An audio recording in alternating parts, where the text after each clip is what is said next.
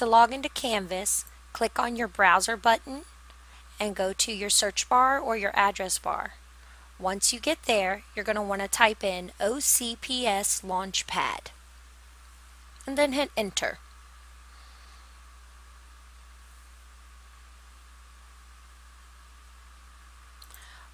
Once you do that, it's usually the first or second link. See right here, it's the second link, Launchpad ClassLink.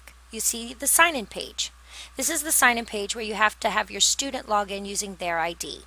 Where it says username, you have to use your student's 4804 student ID number. In the password box, they are going to need to type their birthday, which is their password. Only you got to type it in the right format. It's just numbers. It's your student's birthday. And you're going to type it in the format of year, year, year, year, month, month, day, day. Once you type it in, then you're going to hit the sign in button.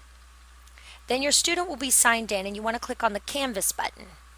That'll bring you to their Canvas page.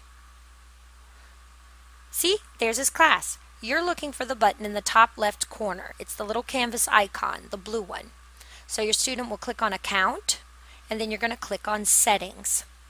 Once you click on Settings, it opens up this page. Now you want to go to the right side and click the button that says Pair with Observer. Take a picture of that code with your cell phone or write it down.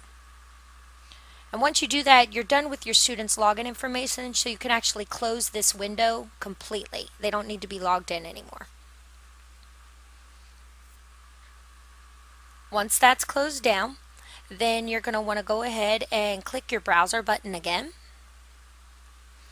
You've clicked the browser button, you're on your search page. You want to go to the Bay Meadows Elementary School homepage.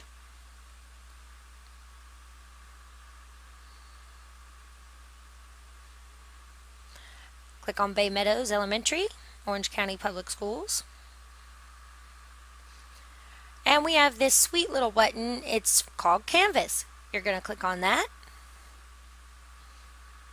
And once that new tab opens up, you're going to scroll down and you're going to look for the blue button that says Parent Login. You click on that blue button. And you can't do a parent email and password. Instead, you need to click on the link up in the right corner of this box where you're the parent of a Canvas student and create your account.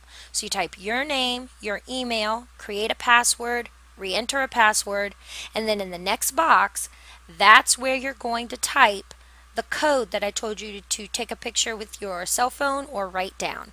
This is the pairing code that your student got off of their Canvas page. Once you type it in there, check the little box agreeing to ter the terms of service, and then click that you're willing to participate. Then you can sign in. And that's pretty much all you have to do.